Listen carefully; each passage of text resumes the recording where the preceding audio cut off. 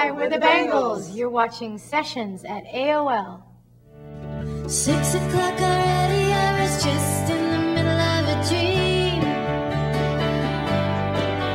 I was kissing Valentino by crystal blue Italian stream. With mega hits like Manic Monday and Walk Like an Egyptian, the Bangles were a major pop force on MTV and radio in the 1980s. Now, for the first time in over a decade, Susanna Hoffs, Debbi Peterson, Vicki Peterson, and Michael Steele are back in action with a new album of original material.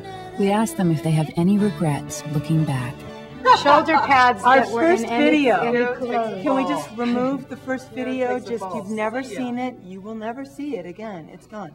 I'm telling, that was the first time that Now we they're were. gonna go try to find you. I Of course, I know. See, but I can actually, I can actually appreciate how silly it is because some of the things are because I'll because are- strike it, I'd strike it from the record. I'm telling you, it was the first time we were set up with a stylist. And, um, and the last time that, that it happened in that way, where we were actually put into clothes that we would never in a million years They're ever all, really they're wear. all really nice people, but we, uh, we But weren't we quite felt like sure about. clowns. Yes. Clowns.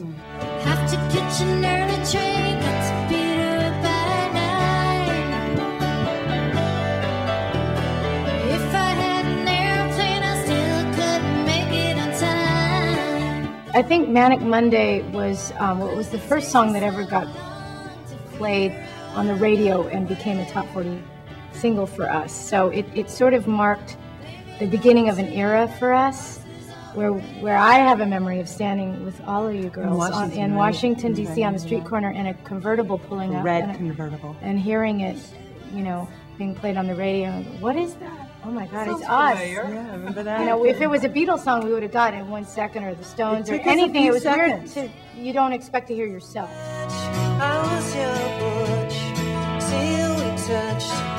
I loved you well, never mind. We've been talking, you know, throughout the decade of the 90s, um, sporadically, but around 1998 we started hypothetically thinking, well, now if we were to do this, how would it feel good and how would it not feel good?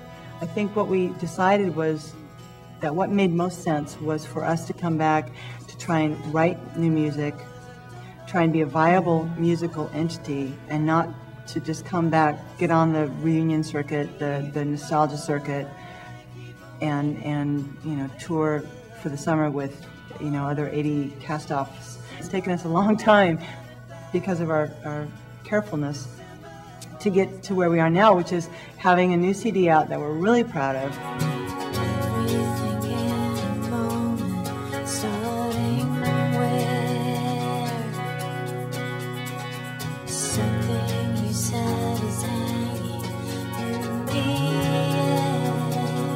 For me, the years away um, were a chance to just explore, you know, different musical paths. But more importantly than that, for me, was just a chance to kind of have a life. And I got married and had kids, and I think um, becoming a mom really, you know, just added kind of a new appreciation for what this little family is all about.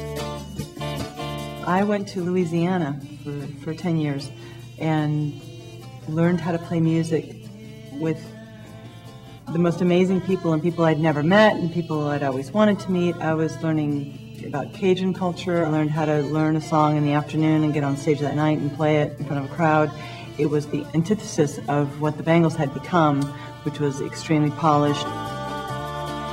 For me, it was kind of very similar to Susanna. I got a chance to do some musical exploration and try some different things, and had a child too, and that really does bring a whole new perspective on life. You have this little this little life here that you have to take care of, and it completely changes your mind on, on other things.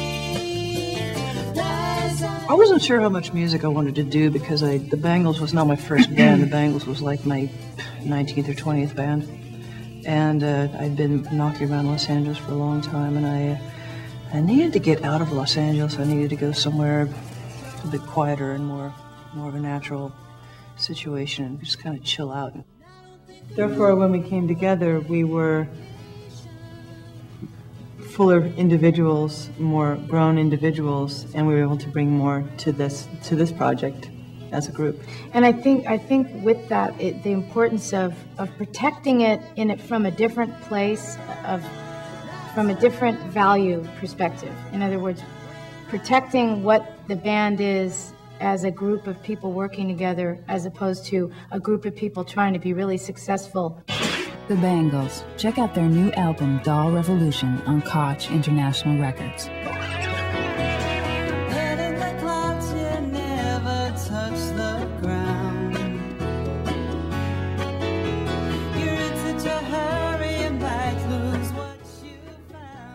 Hi, we're the Bangles.